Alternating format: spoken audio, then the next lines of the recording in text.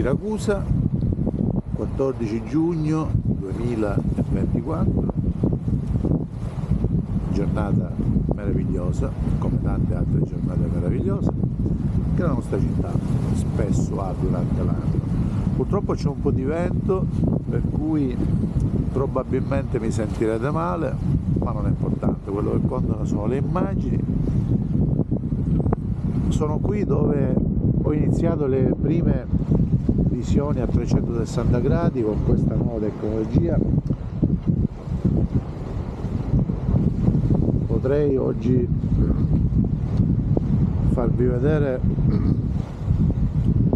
quello che già ci dovrebbe essere ma di fatto ancora non è stato realizzato ovvero nella parte alla fine di questo eh, muraglia ci dovrebbe essere un solarium ma ad oggi appunto non c'è. La nostra è una città meravigliosa che gode di un clima molto bello tutto l'anno. Non dico che il solarium potrebbe rimanere tutto l'anno ed essere utilizzato dai centinaia di migliaia di turisti che vengono qui da noi però così purtroppo non è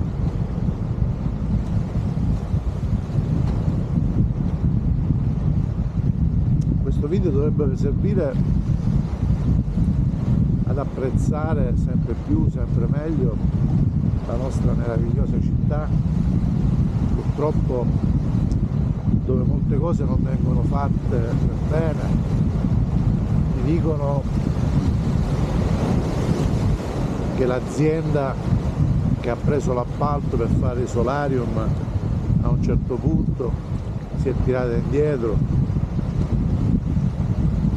chiedo, mi domando anche se sono appalti probabilmente non superando la soglia, adesso non so bene se era un appalto, un affidamento diretto o un appalto a mezzo bando, probabilmente l'ennesimo affidamento diretto, l'azienda ha fatto un passo indietro per cui siracusani e turisti si trovano a non avere un servizio.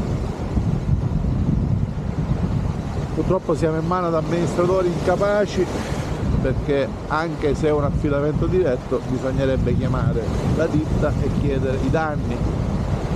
Visto che c'è stato un ripensamento pare all'ultimo minuto ripeto oggi è il 14 giugno. E ancora domani 15 giugno scadrà l'opportunità che abbiamo noi trovato per assumere fino a 20 bagnini come le norme prevedono. Io vorrei ricordare che il responsabile nel caso di incidenti senza le prescritte prevenzioni, ovvero il bagnino e il sindaco di Siracusa.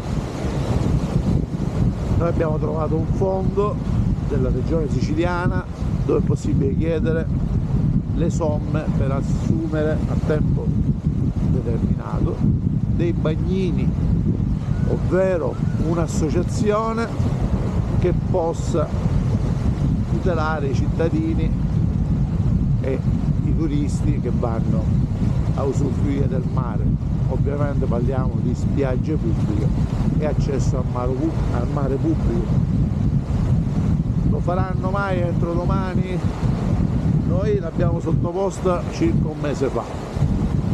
Speriamo lo facciano. Ovviamente non lo faranno mai perché sarebbe come dire dare un certificato una medaglia ad alternativa libera Siracusa che è la nostra associazione politica che ambisce speriamo il prima possibile ad amministrare come dovrebbe la nostra meravigliosa città